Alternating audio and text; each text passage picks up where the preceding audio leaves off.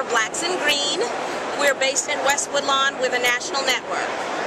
And you're out here at the Green Festival today. What is it that you're out here with? We are here, as per usual. We were actually born at Green Festival in 2007. We're a community partner. We've been here every year since. I'm a speaker, as well as every year we produce a Green Festival launch reception the Friday before, and we participate in Green Festival weekend. We promote it widely the community, and we have been.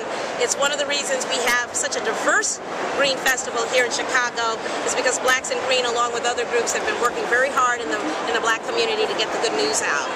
We are here because we are the authors and teachers of the eight principles of Green Village Building. It's a whole system solution for the whole system problem common to black communities everywhere.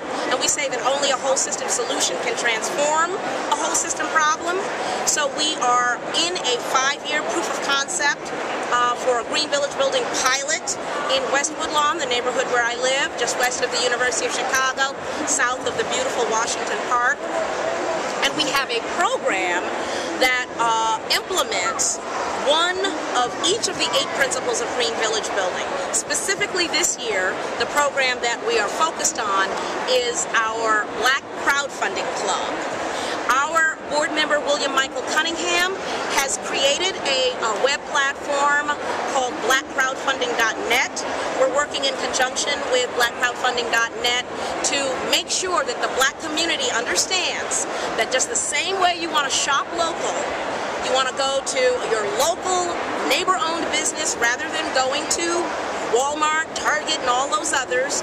You want to shop and you want to do your fundraising and your donating on a local platform that's going to circulate your money within the black community, and that would be blackcrowdfunding.net. So we have a club which meets the third Friday of every month. We are meeting city and suburbs.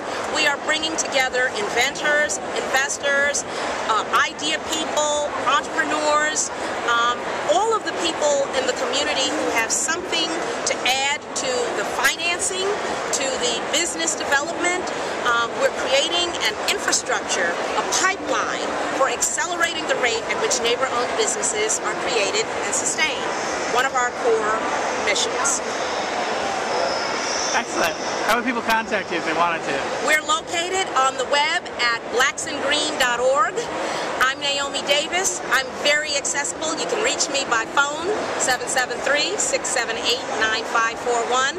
Again, we teach the eight principles, we implement the eight principles, and we teach others to teach and implement the eight principles.